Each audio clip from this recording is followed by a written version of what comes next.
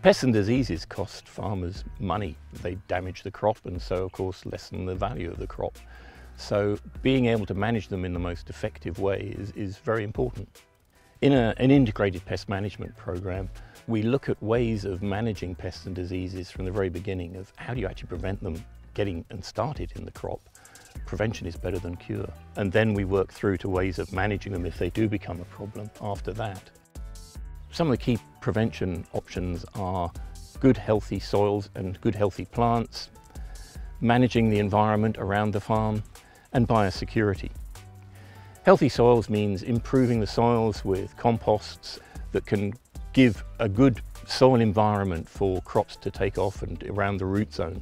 Well, healthy plants actually can produce compounds that will deter insects from feeding on them and the same for the soils. Good healthy soils has many bacteria active in it that will actually resist fungal diseases attacking the, the root zones of plants.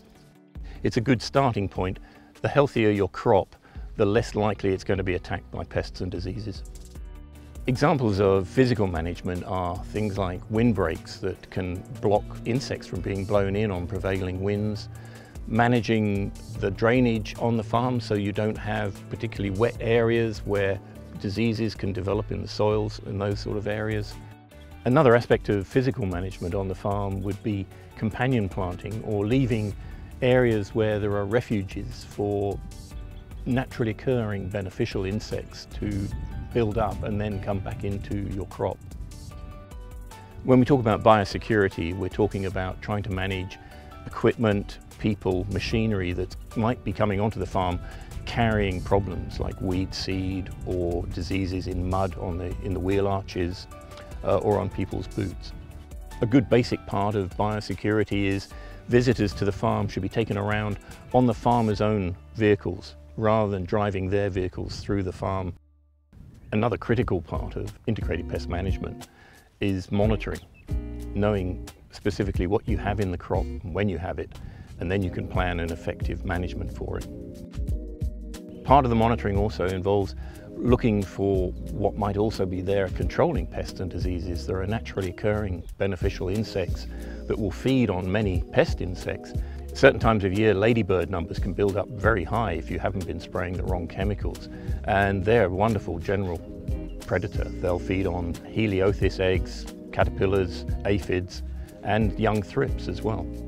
As well as um, naturally occurring beneficial insects, you can buy commercially available insects which are very well targeted towards certain pests. They're more effective in certain crops and at certain times of the year.